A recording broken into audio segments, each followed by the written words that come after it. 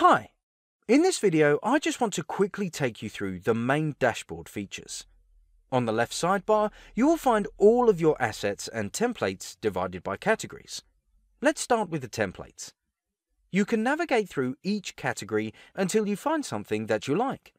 Then you can add it to your favorites by clicking on the heart icon or open it in the editor, which we'll see in another video.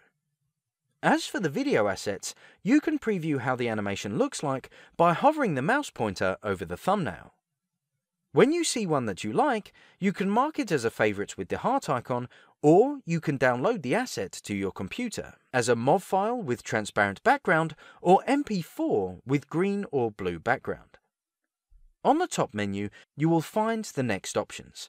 Your Favorites folder, where you can access any templates or assets you have previously marked as favorite. You can remove them from here by clicking on the heart icon again. Your Templates folder, where you will find all of your edited templates.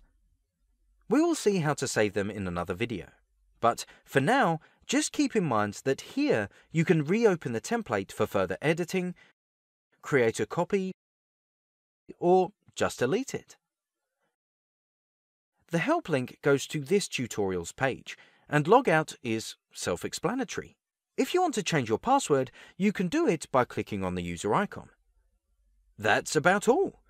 Thanks for watching, and I'll see you in the next video.